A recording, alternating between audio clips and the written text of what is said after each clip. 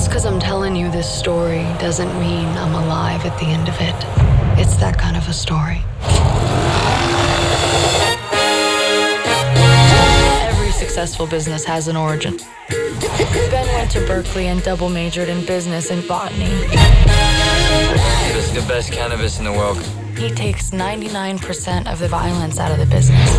The other 1%? Well, that's where Chon comes in. You guys, you have a clean business.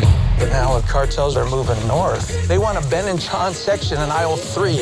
I love you guys. It's the three of us now. And yes, I'm with both of them.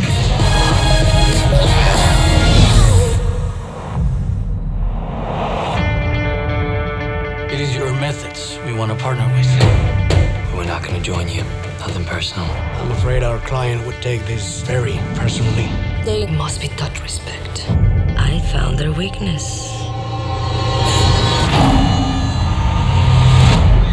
Oh my god. I'd take the deal instead of decapitation. Get your car, girl, and I will do anything, anything to get her back. You stabbed a federal agent! You come to my house. You threaten my daughters.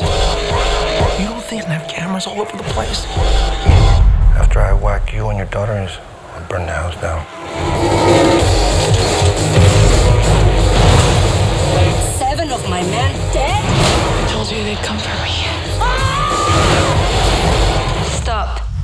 There's something wrong with your love story, baby.